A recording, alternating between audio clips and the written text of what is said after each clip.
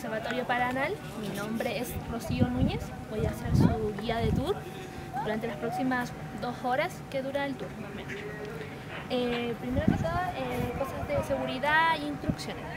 El casco pueden tenerlo en la mano o puesto, ¿ya? Eh, no obligación, solamente al interior del telescopio es obligación por cosas de seguridad, pero el demás, el resto del tour pueden tenerlo en la mano.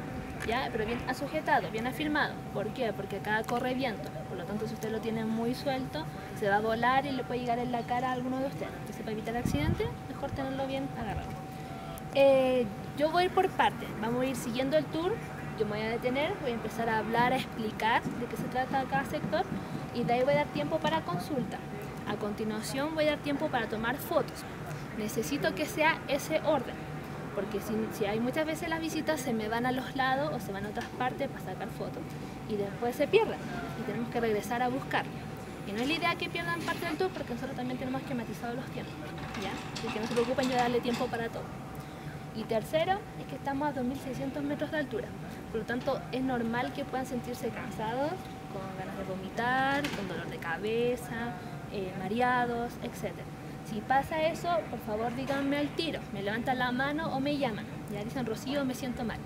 ¿Por qué? Porque a veces también las visitas quieren seguir el tour sintiéndose mal o enfermo y al final se desmayan y se sienten demasiado mal, hay que llamar a la ambulancia o emergencia y también significa vamos a perder tiempo esperando que llegue esta, la, ambulancia. Así que para socorrerlo me tienen que decir al tiro. solo eso. Ahora, estamos en la plataforma del BLT, que es esta, esta VLT significa Very Large Telescope, en español es telescopio muy grande. ¿Quiénes lo conforman? Son estos tres grandes que están al final, esos tres grandes eh, telescopios, más este cuarto que está detrás de nosotros.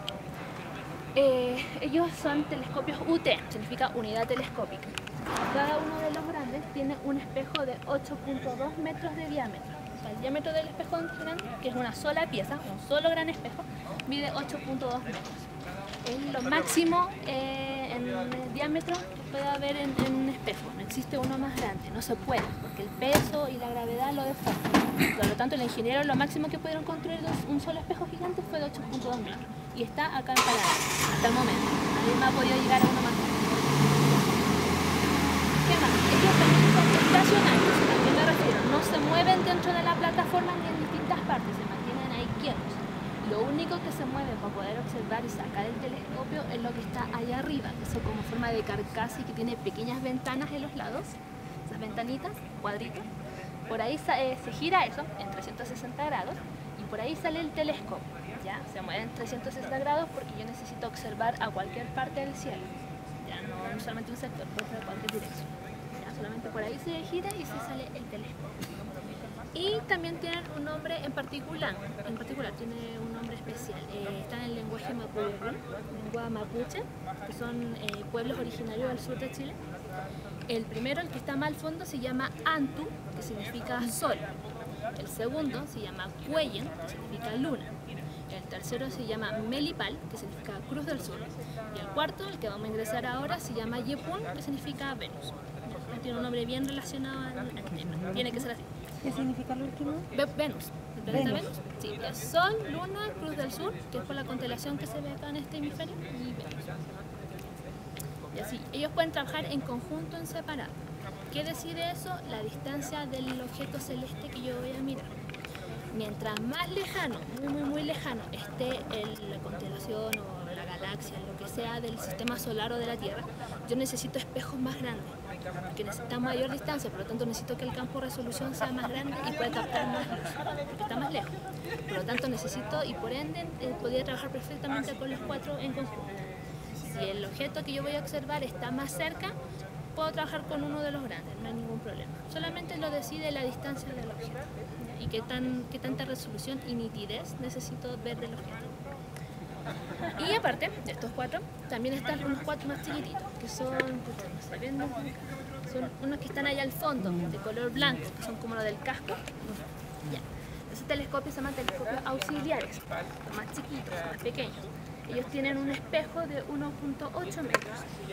Ellos se llaman auxiliares porque la gracia es que son, como dicen los auxiliares, se complementan o ayudan a los grandes. ¿Qué quiero decir? Son cuatro pequeños y cuatro grandes. O sea, cada uno de los chiquititos, de los pequeños, se acopla a uno de los grandes. ¿Para qué? Porque cuando necesito maximizar el diámetro del espejo, perfectamente junto el diámetro del pequeño, entre 1.8, 1.8, lo junto con uno grande y así recibo más cantidad de luz. Los chiquititos sí se mueven. Si se dan cuenta, en el suelo hay como rieles, pequeños rieles con... Por ahí se mueven los chiquititos y se posicionan en distintas partes de la plataforma. Son los únicos que se mueven, los grandes no. Y eso sí. Eh, tanto los grandes como los chicos funcionan con la interferometría. ¿Qué es la interferometría? Es un mecanismo que, eh, gracias a la luz que emiten los astros, porque todas las estrellas, todos los astros en el cielo emiten luz o reflejan luz. Gracias a eso que uno puede, el astrónomo puede sacar información como temperatura, composición química, velocidad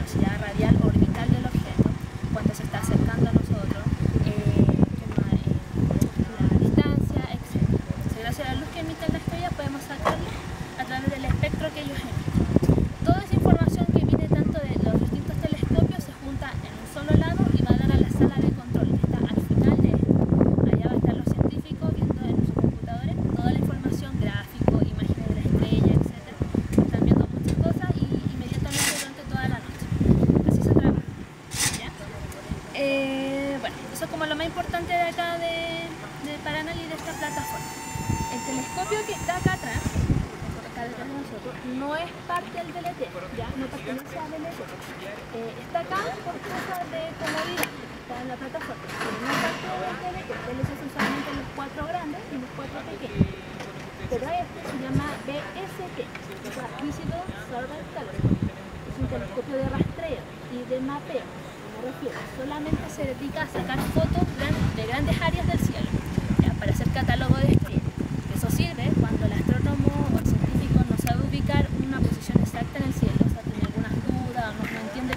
en la posición le consulta al catálogo que realizó este telescopio.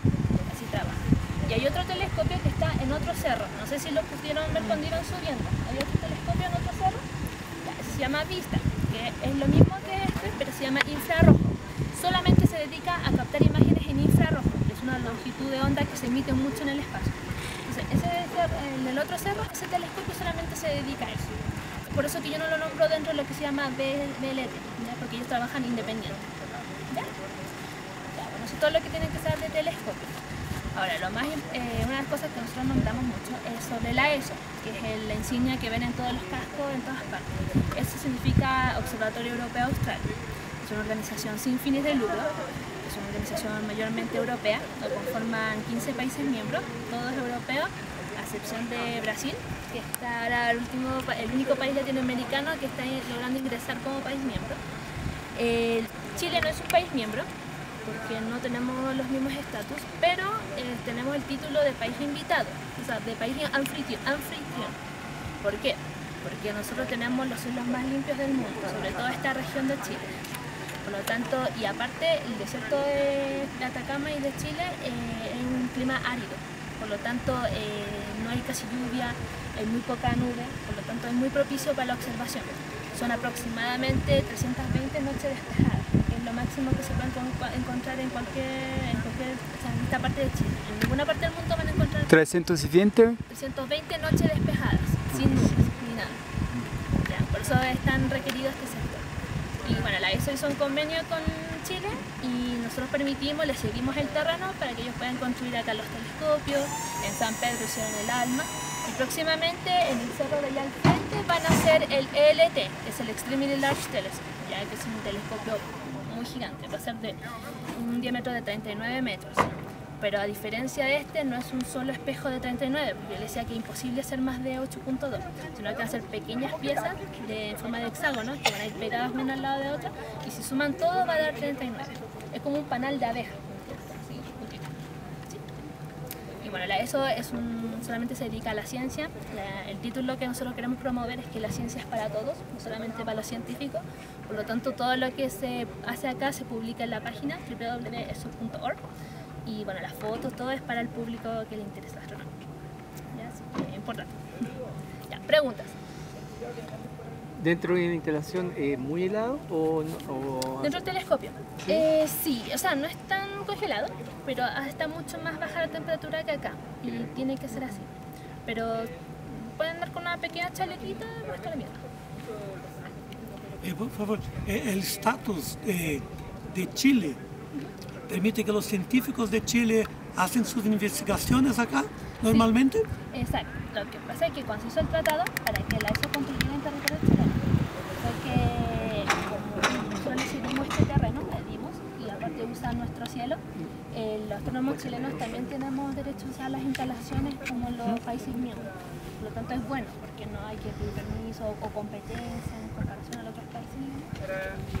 Y da mucha, se puede hacer también eh, proyectos en conjunto, tanto con la país, eh, de los países miembros como con Chile. Y a la vez también los ingenieros y la parte técnica de acá, digamos, mantención, todo, eh, también hay gente staff chileno y staff de los países miembros. Es muy bueno. Está asegurado un cupo para... Claro, está asegurado, Chile ya está asegurado ahí.